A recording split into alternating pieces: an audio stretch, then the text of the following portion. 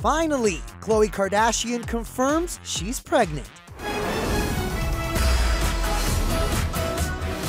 After months of speculation, Khloe Kardashian shared the happy news that she's expecting her first child with boyfriend Tristan Thompson. Khloe posted this black and white photo of Tristan holding her growing belly, writing, My greatest dream realized. We are having a baby. I had been waiting and wondering, but God had a plan all along. The 33 year old also thanked the NBA star for treating her like a queen and making her so happy.